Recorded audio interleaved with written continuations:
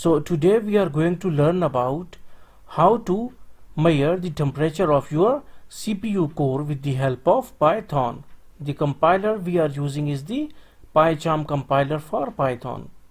So first of all we need to import one library that is called as the WMI so you need to write import WMI WMI simply means that Windows management and instrumentation okay? With the help of this uh, library we can access some sort of like internal functions or uh, some even we can get some sort of data regarding the sensors like temperature sensors. If we want to find the uh, storage on the drives then we can use this library then we need to define a variable that is called as w temp. Okay you can you can write any other variable instead of w underscore temp. It's up to your choice. Then we have a function that is called as w big w m and i which belongs to this main wmi library. This dot simply shows that WMI big one belongs to this library. Then in its uh, parameter insertion brackets we need to give one link. And that is namespace namespace is equal to okay root slash slash WMI okay?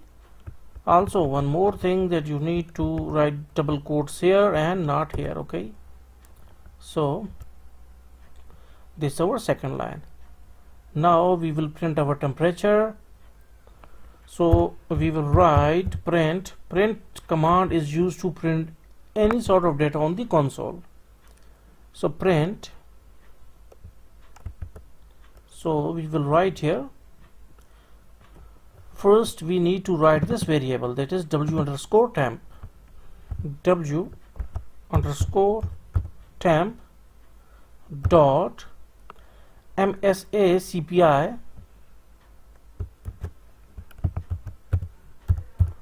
msa cpi underscore thermal zone temperature. Now this is a built-in function okay?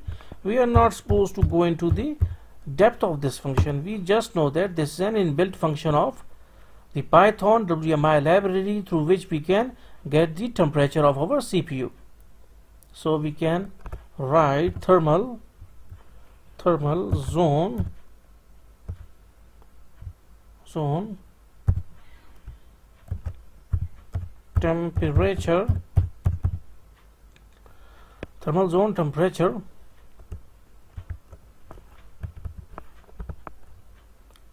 temperature. Okay dot current temperature okay? Dot current temperature. So we need to write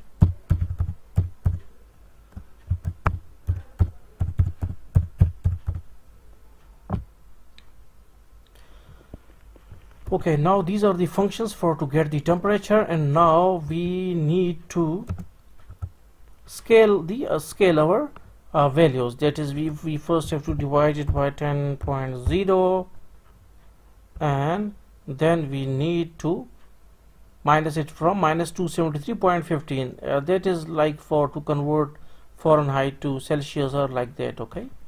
So minus 273 273.15 okay? Okay now okay. Now we can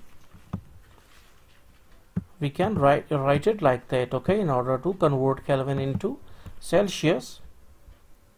Okay now we need to divide it.